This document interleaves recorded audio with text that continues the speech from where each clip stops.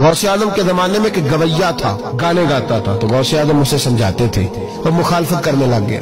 वक़्त गुजरता गया, लोग उसकी आवाज़ के दीवाने थे, बूढ़ा हो गया। वो जो उसे सुनते थे, वो किसी और को सुनने लगे। घर में भी जब तक पैसे आते थे, तब तक तो घर में भी बड़ी कदर थी। जब घर में कुछ न दिया तो बच्चों ने भी निकाल दिया। हालत ये हुई कि कब्रस्तान जाके बैठ गया। पहनने को कपड़ा कोई नहीं, खाने को रोटी कोई नहीं। मेरे गौ से आज़म, उस गली से गुजरे। जब गौ से आज़म गुजरे तो उसकी हालत देखी। तो हजूर गौ से आज़म घर गए, गुलाम को बुलाया, फरमाया, सौ दिनार ले जा। उस गवैये को दिया बताना ना किसने भेजे? वो कहते, मैं गया तो बड़ी बुरी हालत। जा करके सौ दिनार दिए। मैंने कहा, लो। कहने लगा, किसने भेजे? तो मैंने कहा, मुझे पहुँचाने का हुक्म है, बताने का नहीं। कहने लगा, मैं भी सारे बगदाद को जानता हूँ, मुझे पता है।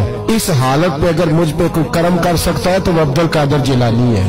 खादम कहते, मैं दे के आया तो वो मेरे पीछे पीछे चलने लगा।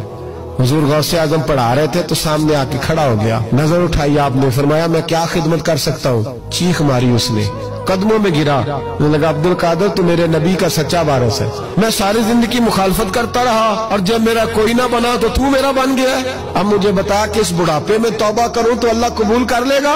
तो गौसे आज़म फरमाने लगे, तू सच्चे दिल से तोबा कर।